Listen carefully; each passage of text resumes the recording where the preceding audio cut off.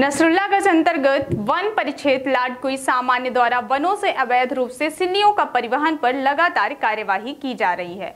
विगत दिनों जहाँ वन विभाग द्वारा मोटरसाइकिल पर परिवहन करते हुए लगभग 16 नग सिल्लियाँ जब्त की थीं, वहीं रात्रि को गश्ती के दौरान वन विभाग द्वारा एक मारुति कार सहित आठ नग सागौन की सिल्लियाँ जब्त कर दोनों लोगों को गिरफ़्तार में लिया गया। वहीं सागौन की सिल्लियाँ सहित वाहन की कीमत लगभग पैतालीस हज़ार बताई जा रही है।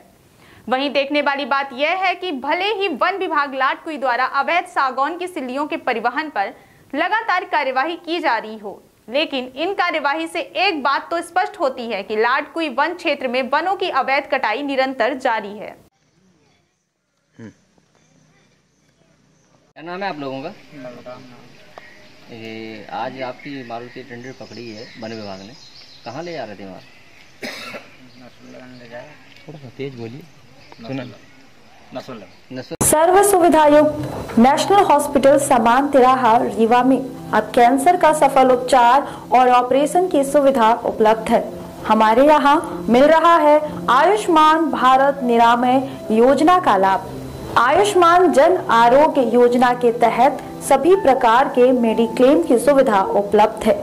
हमारे यहाँ लेजर कैंसर, अस्थि रोग एंडोस्कोपी, लेप्रोस्कोपी एवं प्रसूति रोग का अनुभवी चिकित्सकों के द्वारा उपचार किया जाता है।